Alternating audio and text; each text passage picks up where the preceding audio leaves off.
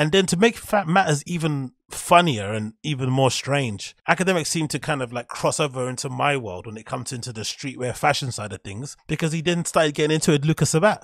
Yeah, you heard that right. Akademiks getting into it with Luka fucking Sabbat. How flipping random is that, right? I don't think anyone had that on their bingo card for 2022. The end of 2022 always goes off with a bang. So I guess in the midst of all the drama that Akademiks was having with no jumper adam 22 and the rest of the cast and whatever it may be. And Flocko of course he also had a bit of beef on the side with Yung Miami because i think at the time news was revealed or diddy revealed that he was giving birth to another kid and then the internet went into an uproar because obviously you know he's meant to be having this situationship going on with uh, Yung Miami from city girls.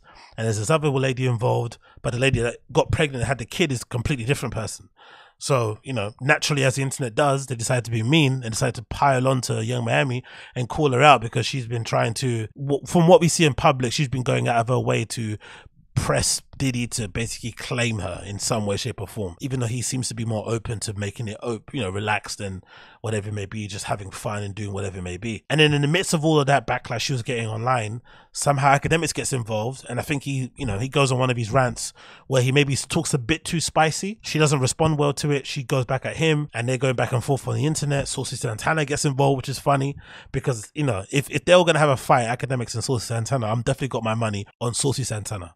I have to be honest. I think he could definitely fight. There's something about those. I, I think he's is he from Atlanta? I'm gonna say Atlanta. Let me just say Atlanta. There's something about those gay guys that grew up in Atlanta. They have to put up with a lot of mess.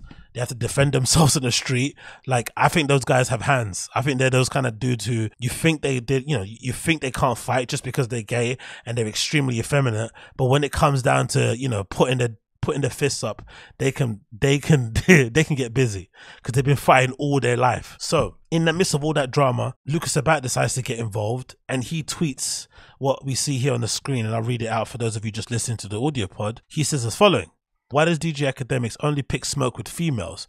I ain't never seen him keep the same energy of another man, which is like the constant meme that's going around now on the internet. But since I've been keeping more, you know, keeping more of an eye on Akademiks and what he's been doing and kind of listening and watching some of his content, that's not necessarily true. Just recently, he went super hard at Lil Baby. I think too hard because eventually, if they ever do end up crossing paths, he can never ask for a conversation. That's going to be on site situation. I'm sure he's aware of it.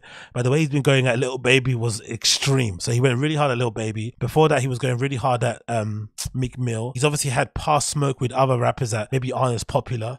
Um, I can think of a D Savage. Obviously, he went super hard in that. Um, he had the issues with Nav, who they're kind of made up with, but he has he's he's he's definitely gone his way to really attack those dudes too. My son, maybe he's not somebody super popular, but they seem to always have back and forths he does seem to bark a lot when people, you know, try to step to him. So this narrative that he only goes against women isn't necessarily true.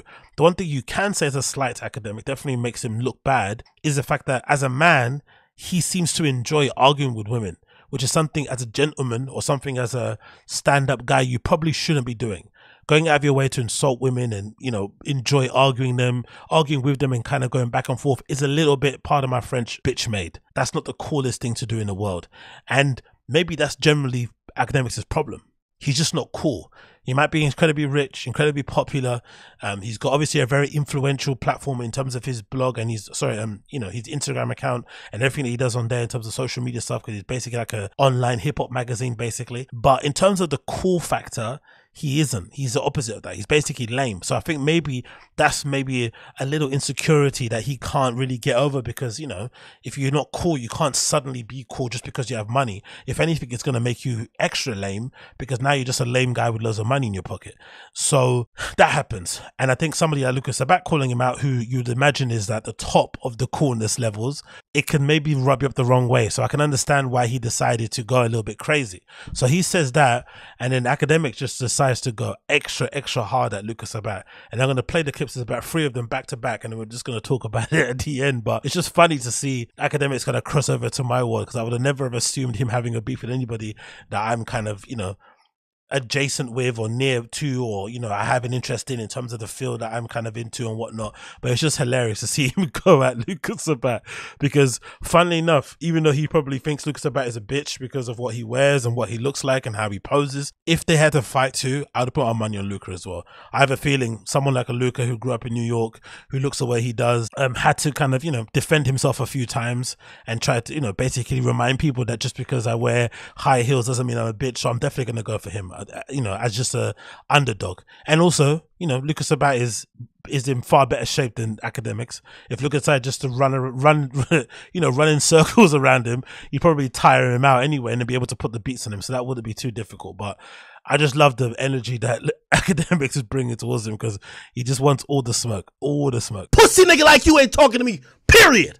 Don't act like it's just only for females. Cause I've been waiting to Jersey City. Oh, oh, go back again. You ain't talking to me. Period. Don't act like it's just only for female. Cause I've been waiting to catch a nigga just like you. So pussy nigga, if you want to come meet me, you could come meet me. I'm in Jersey at Jersey City. and then the next one. You. Fuck the females. I believe you. You a bitch, your mama a bitch, your daughter a bitch. Fuck everything about you, nigga. Fuck everybody who dead in your family. Come put- I don't think he has a daughter, but I think the whole point of this tirade is just to insult as many people as possible to get Luca to crash out. But I don't think Luca has a daughter. He may have one, but I don't think he does. Up on me. I will meet up with you. Yep. He don't want no smoke. That's what I'm trying to tell you. These Yo. pussy niggas love to say act only fucks with females, but I really want it with a nigga like this. I want it. Pause. Hey, I sound like a drill rapper right now. Hey, yo, he sound like he from the rap. Act crashing out right now. Check the comments. They pressing them. Yo, act, yo, act. You Bro, look at this pussy act. nigga. Look, he expected me to spin. Nigga, I never expected to spin because I don't be spinning. All I'm just trying to say, you said that I only mess with females. I'm just trying to say I'm down to do the disrespect. I'm down to whatever you thought I was disrespect. So that's basically what he said you know, he basically made it known that he was on whatever smoke he was on. But the funny thing is, Luca's response was a little bit underwhelming and kind of disappointing. If somebody decides to talk to you that way, I know you can't be barking on the internet and replying to him. It's a waste of time. I get it. But this did seem a little bit like he was copping please. So after he said that and Akademiks said what he said, he goes back on his Twitter and somebody says to him on Twitter, he's coming at you really right now on stream. Um, Luka Sabbat replies, damn it, I missed it. Anyone clip it? Laughing emoji. Next tweet, somebody said something else to him. He expects me to spin. I'm an actor. I spend most of my year overseas. Why would I spin a YouTuber vlogger? I don't advertise being tough, but you do, which is weird, right? Because you can't get involved in the beef, say what you said there at the bottom, and then suddenly say, but I'm an actor, I'm an actor, I'm an actor. That's a little bit bitch made, in my opinion, as well. Um, if you don't want to get involved, just don't say nothing and keep it moving. But hey, it is what it is. And it continues here. It says, um, yes, I'm pussy. I'll be in Tokyo this weekend if you want to spin. That's, that's funny and a bit of a flex. Let's be real, right? I'll be in Harajuku if you want to come and spin. If you want to take a 10, imagine taking a 20 hour flight to go fight someone. Because they called you out and said that you know you only bully girls. That would be absolutely hilarious. But anyway, that's what happened.